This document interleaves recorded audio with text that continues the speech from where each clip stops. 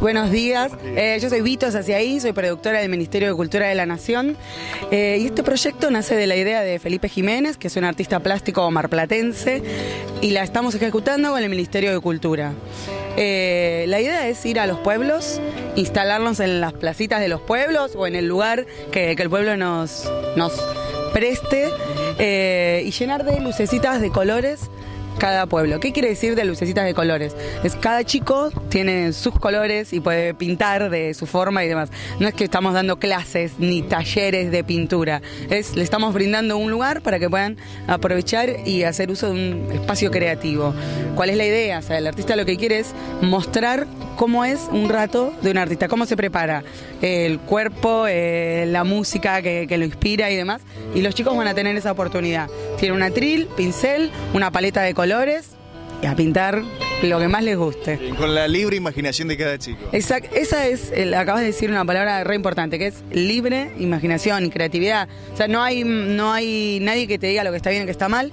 Y algo particular es que siempre eh, cuando lo hacemos invitamos a los profes y a las madres a que esperen afuera y para que realmente esté eh, cada tril con su pintor.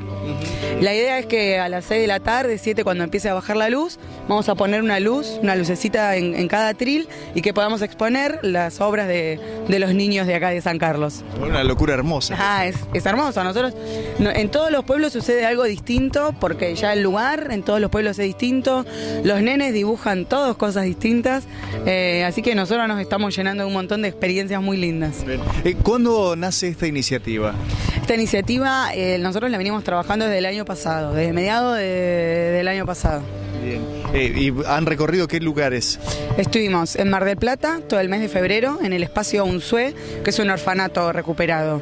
Eh, después estuvimos en Tecnópolis, en el Encuentro de la Palabra, también estuvimos 20 días. Y estuvimos, el fin de semana pasado, estuvimos en la Villa 21, en Buenos Aires, eh, que queda en el barrio de Barracas. Y ahí estuvimos también todo un fin de semana, en, lo en tres distintos barrios de la villa. Y salimos para acá. Para empezar esta gira, nosotros les llamamos NEA, o sea, vamos por distintos lugares del NEA. Y empezamos ayer en Las Rosas, eh, hoy estamos en San Carlos Centro, de acá nos vamos a Misiones, eh, Apóstoles, y después terminamos en dos pueblos del Chaco, en Corzuela y en Las Breñas. Y volvemos. Y vuelven. Bueno, ¿cuántos artistas o cuántas personas están en la coordinación de todo esto? Somos 15 personas, o sea, tenemos dos personas que están encargados de, de llevarnos y traernos para todos lados, dos personas que mueven el carro, que especializadas, es un carro, o sea, todo el material que ustedes ven desplegado ahora viaja todo adentro del carro, eh, equiparado. Todos los atriles, las hojas, los taburetes, Sí. los bancos. Todo, eh, papel, el papel también que... nosotros aparte vamos con todo. Lo único que pedimos a, a los lugares es que nos den un lugar donde poder enchufar el alargue y, y ahí armamos. Eh, todo viaja en el carro, que el carro lo mueven también dos personas. Tenemos, está Felipe Jiménez, que es el artista plástico, Sebastián, que es el músico que está tocando ahora. Tenemos tres profes eh, que ayudan a preparar las cosas y demás, tres profes de plástica. Eh, una persona que se encarga del armado y, de lo artístico, que nosotros le llamamos utilero.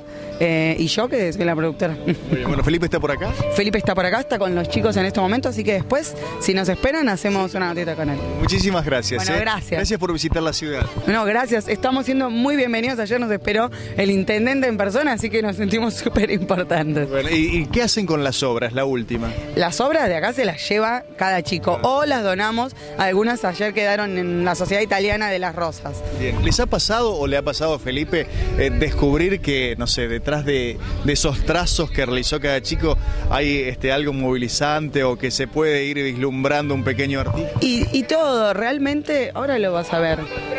Realmente cuando agarran el pincel y la pintura, al no haber alguien que te esté marcando, y la- cuando nada más lindo que ser creativo y, y libre. Para mí eso es, un artista busca todo el tiempo eso, volver de- a la base, que es esta, o sos chiquito.